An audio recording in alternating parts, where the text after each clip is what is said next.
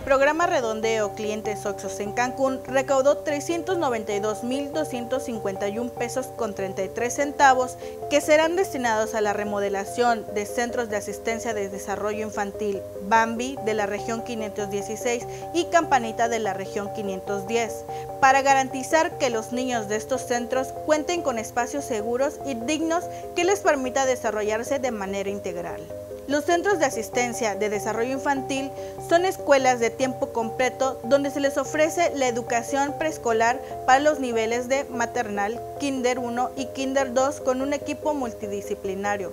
Durante el evento, el DIF de Benito Juárez entregó un reconocimiento y mochilas a las cinco tiendas que recaudaron más durante el primer bimestre del año, demostrando el compromiso social más allá del sentido comercial.